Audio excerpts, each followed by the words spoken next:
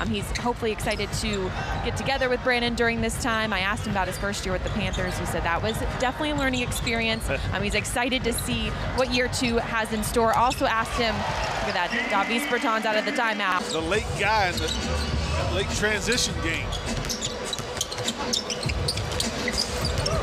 Bertans had to wait for that pass. Didn't matter. Another three ball for the Latvian laser. And plenty of time.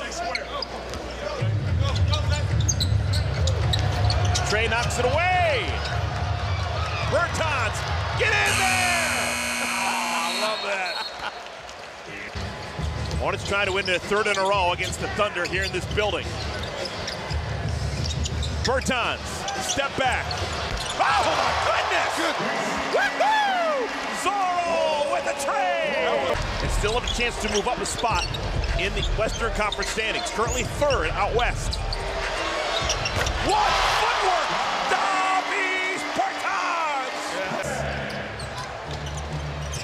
Holmgren. That's what happened to the seven-footer. Puts it on the floor. Nick Richards wants it. We've got a tie-up. And now it's the Thunder that had to retreat and try their offense. Going, nope, rebounded by Richards.